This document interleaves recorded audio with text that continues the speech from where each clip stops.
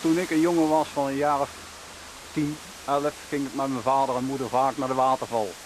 En er zat dan altijd zo'n klein vrouwtje eh, met een eh, gekleurde raampje. En er zaten allerlei kleurtjes in. Allerlei kleurtjes. En dan, als je hem dan omhoog deed, dan kreeg je weer een ander kleurtje. Deed je hem omlaag, dan weer een ander kleurtje. En dan gaf je dat vrouwtje 5 cent en dan mocht je daar doorheen kijken. Aan de andere kant van de, van de waterval, daar stond vaak ook een Chinees met een bakje voor zich. Pinda, pinda, lekker, lekker. Misschien kent u dat liedje nog wel. Van pinda, pinda, lekker, lekker.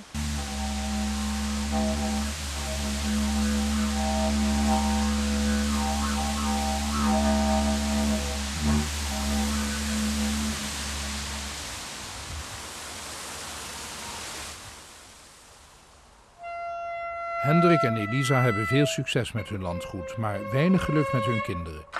Drie sterven er jong en de erfgenaam toont weinig interesse in het onderhoud van het landgoed.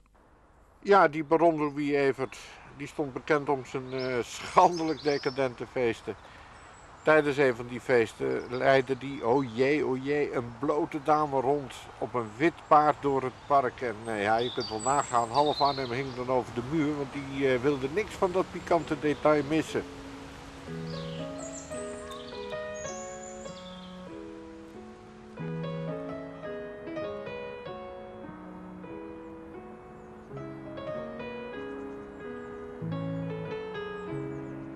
De schapenteelt, die de Van Hekerens en andere baronnen tot 1850 in staat stelt schrale gronden op te kopen, heeft tot gevolg dat de omtrek van de stad verandert in een parelsnoer van landgoederen met kapitale landhuizen.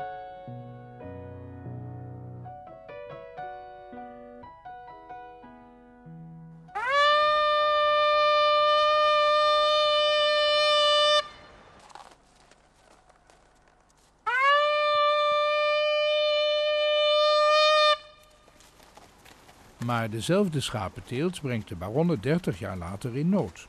Ook kleinzoon Willem Frederik ziet zijn inkomsten naar beneden suizen. We tellen het jaar 1880. Willem Frederik leidt verlies en verkoopt grote delen van zijn landgoed om zijn geliefde jacht te kunnen beoefenen.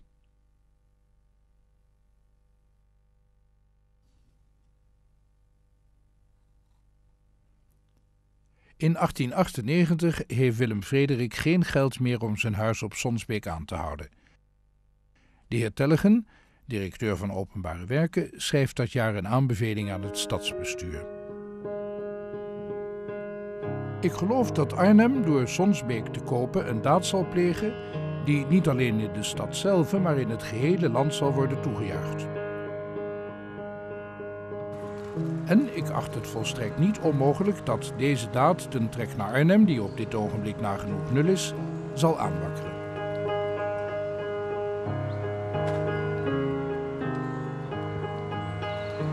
Sonsbeek is echt een, eh, een leuk park waar je als je alleen bent of met je verloofde of vrouw heel gezellig kunt vertoeven.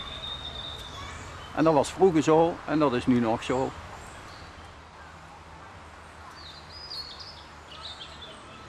Dit is dan de beroemde Telgebank. Dat roept heel veel herinneringen op. De heer Telge die, eh, die heeft ervoor gezorgd dat het Arnhemse publiek ingang had tot dit park. En uh, een van de liedjes die we daar veel zongen, dat, dat was ook een liedje wat uh, na de oorlog veel gezongen werd. Het, namelijk het liedje Arnhem. En dat was zo.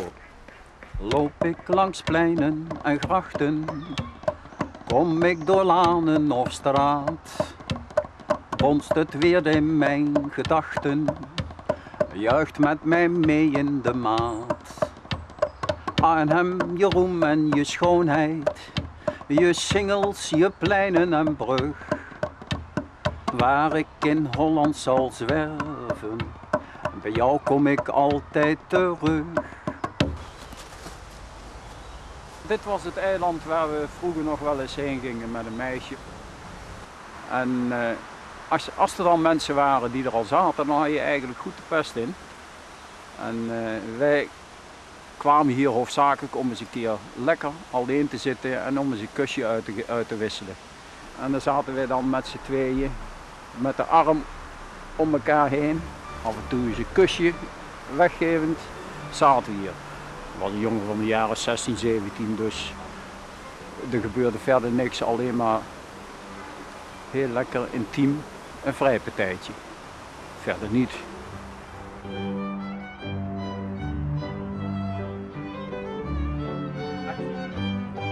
Gaat men de wereld eens bekijken, in welke stad,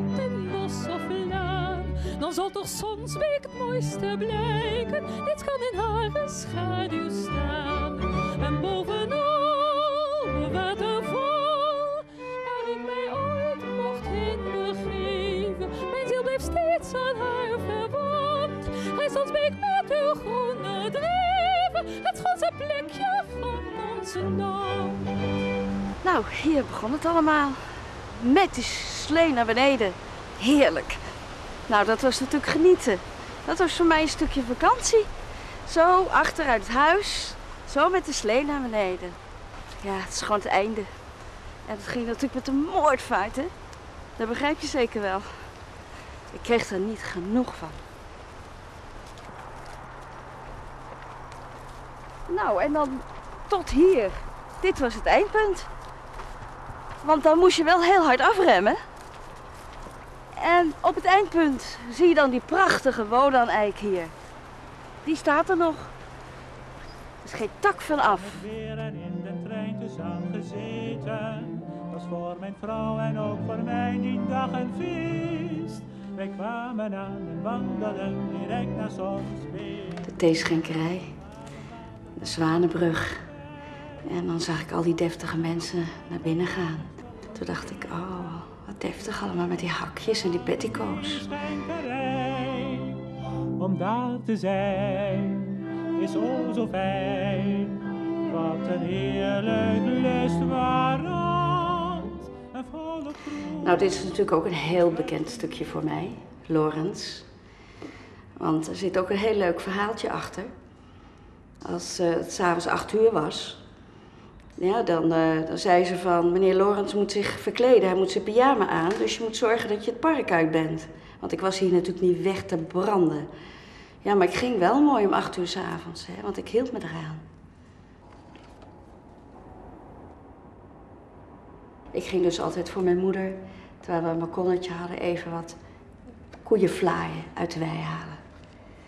En dat is eigenlijk op dit plekje. Hier bij dit hek. En ging ik met mijn emmertje naar de wei en haalde koeienpoep. Ja, en dat ging ze verdunnen met water, maar ze had de meest mooie rozen van de hele buurt op het balkonnetje.